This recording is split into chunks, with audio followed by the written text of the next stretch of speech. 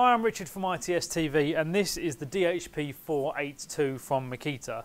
It's an 18 volt lithium ion combi drill uh, which is part of the 18 volt lithium ion LXT range from Makita, really popular range um, that all run off and are compatible with uh, the 18 volt lithium ion slide on batteries from Makita um, from 1 amp, 1.5 amp hour all the way up to 5 amp hour and any that they release in the future uh, under the same range. Um, now, for those of you that know your Makita model numbers, this is the replacement for the very popular um, DHP 456, which means it's, it's a general purpose combi drill. So it's by no means the, the weakest um, combi drill, but it's not the heavy duty ones where you need a side handle and a health and safety warning. It's slap bang in the middle. It doesn't have a brushless motor, so we haven't got that slightly extended uh, capacity or slightly extended run time. It's got an old school brushed motor but it still packs a nice, nice punch and will be able to achieve a hell of a lot of the jobs that you uh, you ask of it. Um, so let's look at it in a little bit more detail. First of all, as I said, it's a combi drill, which means we've got our screwdriving mode, our drilling mode, and if I just rotate the collar around to the hammer there, that is of course our percussion mode or our hammer action, which means this can be used in masonry.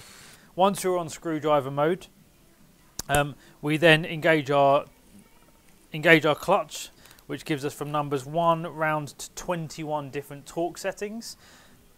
Not only have we got those 21 different torque settings, we've also got two speeds to choose from on this machine. So there's loads and loads of options when it comes to deciding the exactly the right amount of torque, power and speed when it comes to your screwdriver and applications.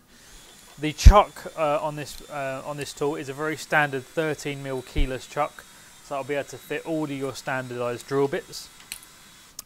Um, other features, of course, are as, as standard now. You've got a very nice, soft, ergonomic, rubberized grip, intelligent trigger, so the harder you pull it down,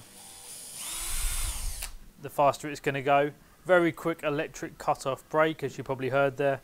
Handy LED job light to illuminate your work area, and a forward and reverse switch with a lock-off position in the middle there. In terms of capacities, you're looking at about a 38 mil when uh, drilling into wood and a 13 mil hole when you're drilling into masonry or metals.